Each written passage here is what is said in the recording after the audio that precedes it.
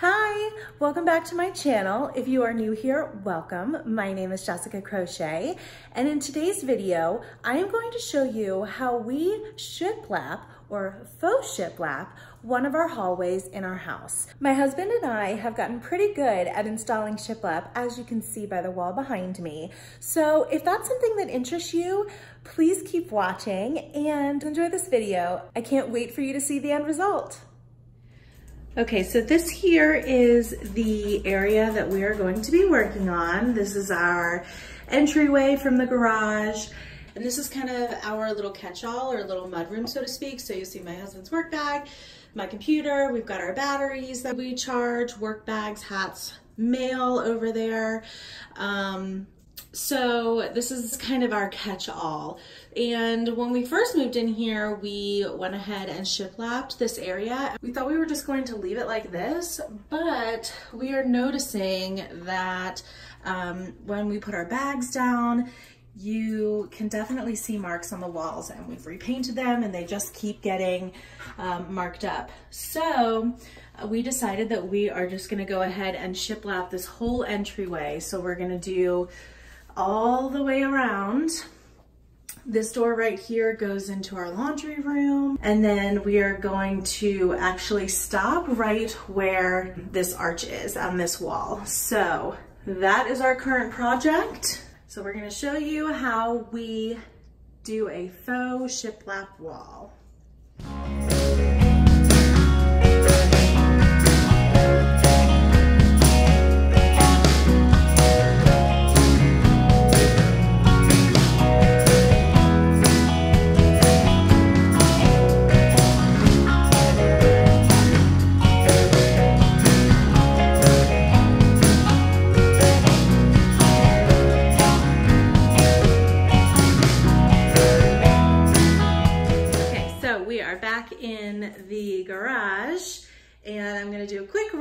The materials that we got. So we got quarter inch plywood, which I'll show an image of where it is. Again, all of this is from Lowe's. Um, we got over here, this um, is edging and we're going to use that basically where the shiplap meets the uh, sheetrock.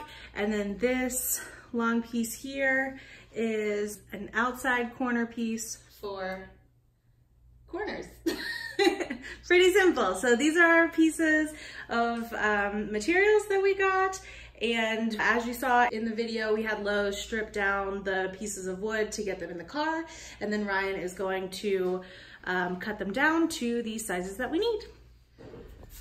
Okay, so the first thing that Ryan did was he ripped off all of the corner molding that we had in here. Since we are now going to be putting shiplap next to those boards. Faux shiplap.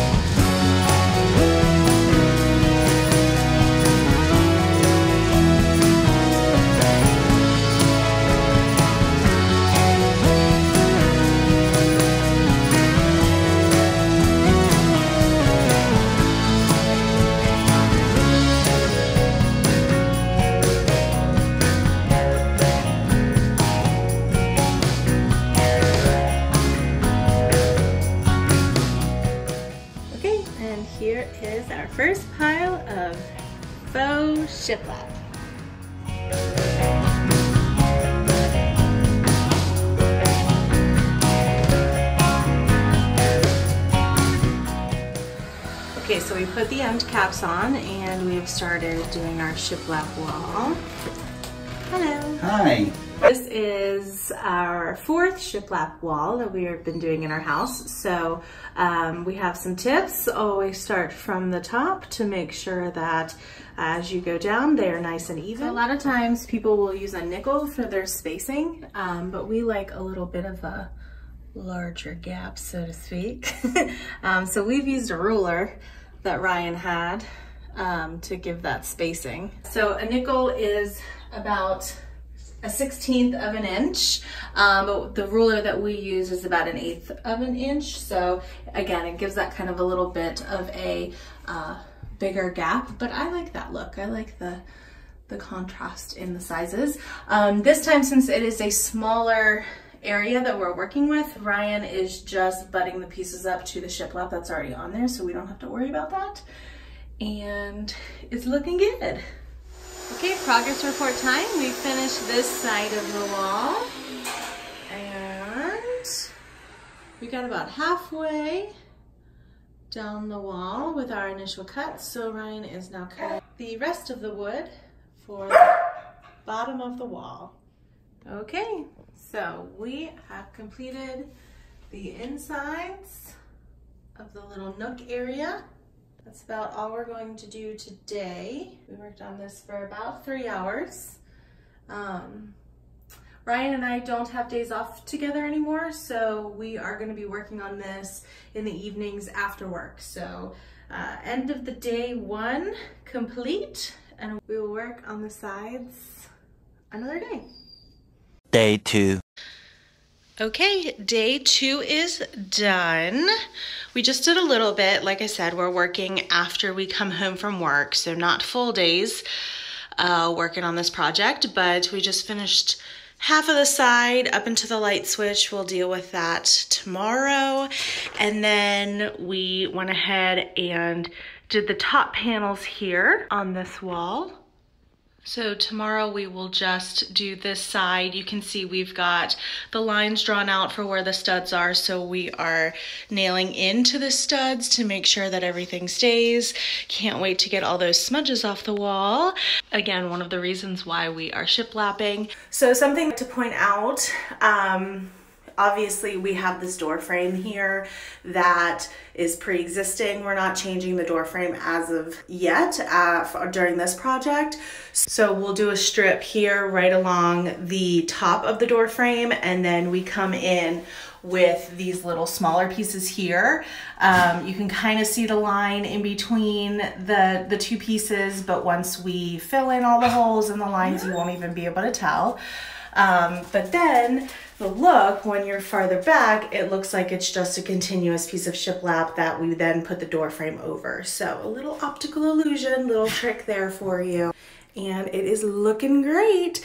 So again, this is the end of day two and we will continue on down the wall tomorrow. Day three. Okay, we are on day three of the project, just checking in. Um, so we are working on this long wall here, going all the way down.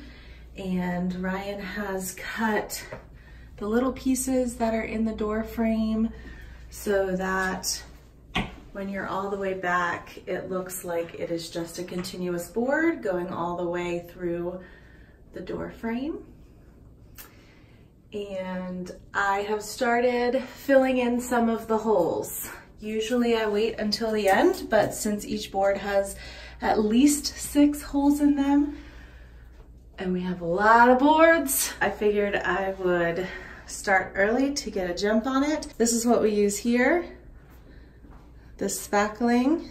It goes on purple and then dries white. And then we just sand it down so it's a nice smooth surface and ready for painting. Okay, so we are working on our last wall and we just have to go around the switch that is on the wall. Um, so as you can see on this side, we do have the switches that we have to work around. So first things first, we cut the power, right? Oh yeah. So that's why it's a little dark in here. Um, safety first since we're dealing with wires. Okay, so what we will be doing first is putting the piece of wood on the wall and then Ryan is going to use his Dremel to cut around the opening for the switch box.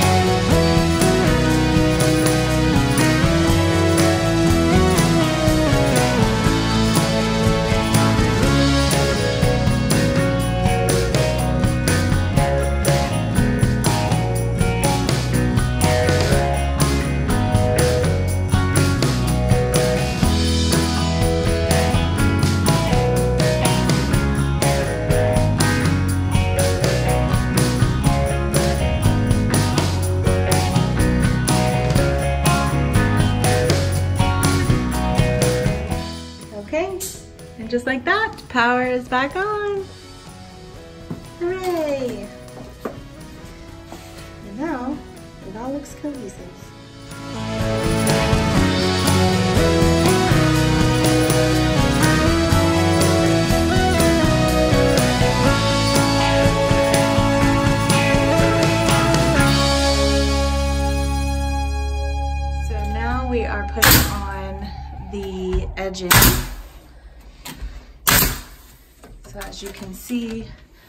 The shiplap meets the sheetrock.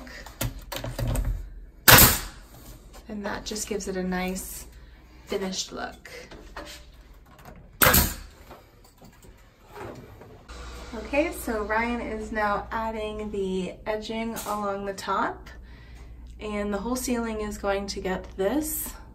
Again, where the shiplap meets the sheetrock just to give it a more finished look. And he is doing a miter cut. How you can kind of see there um, is cut at an angle, which when the two pieces butt up, it makes a nice clean corner. Okay, so here is the end of our day. We added all of the borders around. We caulked all of the areas that needed the caulk and filled in 5,000 holes, it seemed like. So now is the fun part. We are going to paint. Ryan has a paint sprayer, so we are just going to mark off all of the areas that we don't want painted so he can get in there and we'll show you that process next. The next morning. Okay, so here are our tools. We are going to be using the painter's tape to make sure we get what we don't want painted covered. That's the paint that we are using. Ryan got a little suit TBD on whether or not we'll get uh, an image of him in that. he says nope. And then we went crazy, you guys. Usually we paint everything in ultra white, and today is a wild day. We're going with summer gray. I know it looks white. It is white, but it's not ultra white. Crazy day in the crochet household. Okay, next steps, painting. So Ryan has made this little painting cave, so to speak. We have taped off all of the door frames and the floor all the way around. We're gonna do the baseboards the same color. So we didn't tape those off. And we're also gonna paint the ceiling the same color. But We've got everything taped off. Husband back there. You ready to suit up? suit up in your paint suit.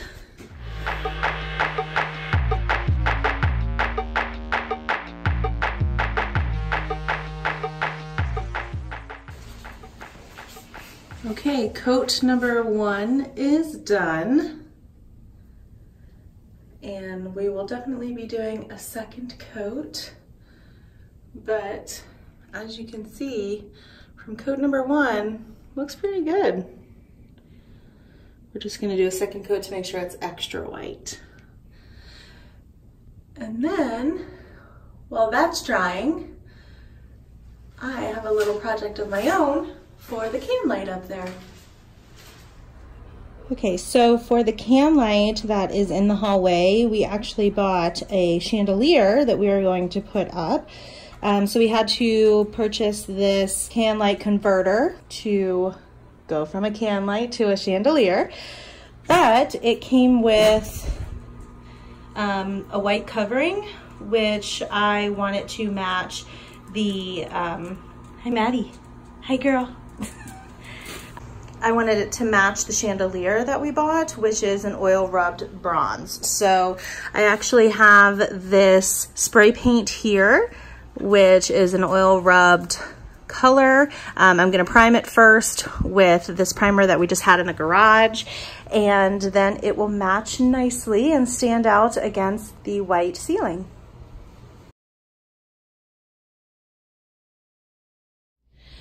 Okay, so please don't mind the mess behind it. This is kind of our work area, um, but this is the light that we got, a little globe pendant light. We got this from Lowe's. I will link it below. Um, as well as all of the tools that we used. Um, so we're gonna hang this up where the can light was. Right. and Ryan's gonna put the converter in uh, that I spray painted earlier. Okay, and it is done. The light has been installed. I just love how this looks especially against all the white. I think it is so beautiful. This definitely was a lot harder than we expected and mostly just because we have found so many things wrong like with all of our other projects.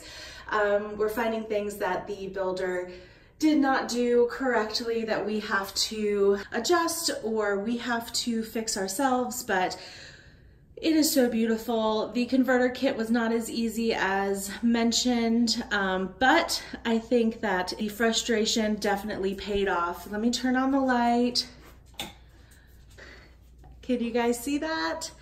We were worried because it was a pendant that it would not be enough light, but wow, it is beautiful. It lights up the space and it is the perfect addition. So we are all done in here. Cannot believe how beautiful it looks. This may be one of my favorite projects that we've done.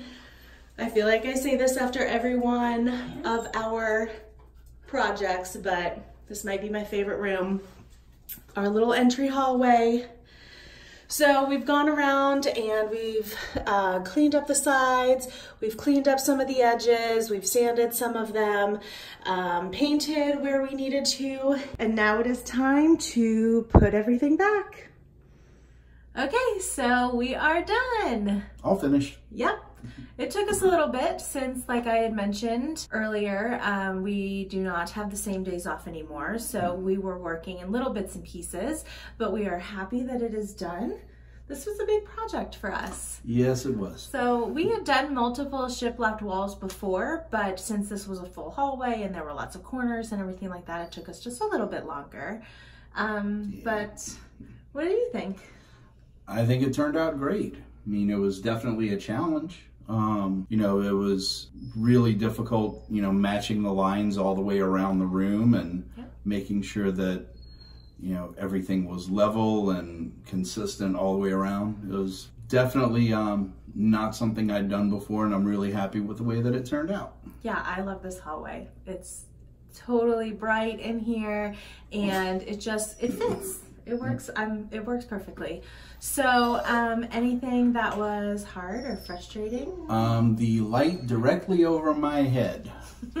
it was the first time that I'd used a recessed light adapter kit. Um, I watched two or three videos from the manufacturer on how to install it and read the instructions and they make it look super super simple but real world application it, it's not that simple plus it wasn't installed, the can light wasn't installed yeah. correctly in the first place.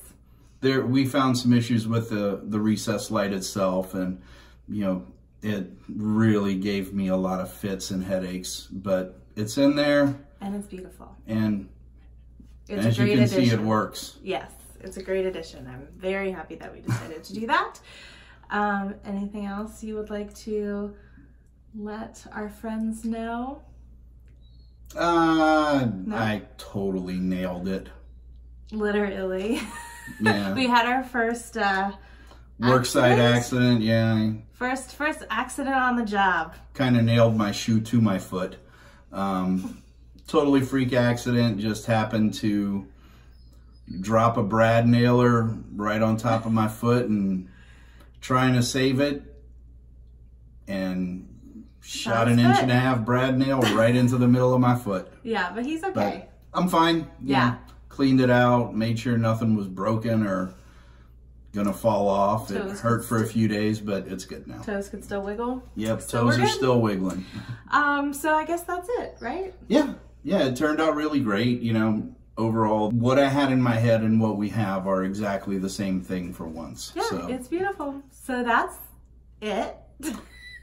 Yep. Um, on to the next project, On to the next project. which is actually directly behind me. laundry room that's our next project so if you liked this video and you want to see what we do with the laundry room um, please be sure to subscribe let's be friends and click the bell so that way you are notified when my new videos come out.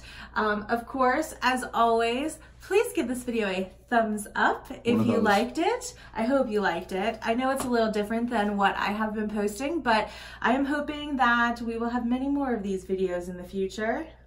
It's a lot of house. a lot of house, a lot of uh, projects on the list that I just keep adding to.